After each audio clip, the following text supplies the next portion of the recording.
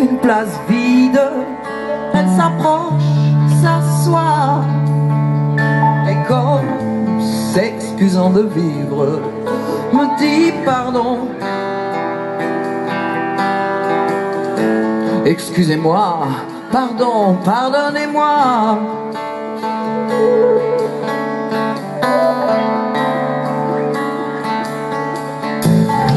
Le monsieur tendait le bras une boîte de haricots. Avait l'air un peu moite. Et moi je pensais vaguement à un gigot. Il me fit pardon. Excusez-moi, pardon, pardonnez-moi.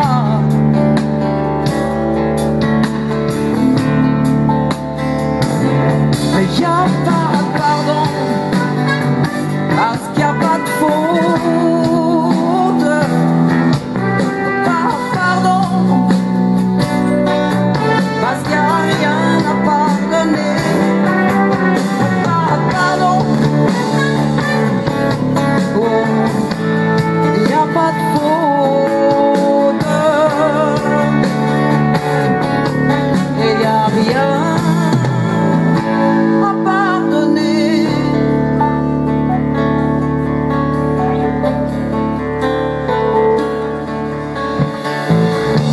J'étais là, tout tendu, à pleurer comme une gourde.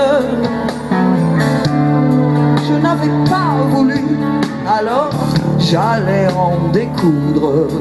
Je lui dis pardon, excuse-moi, pardon, pardon, pardonne-moi.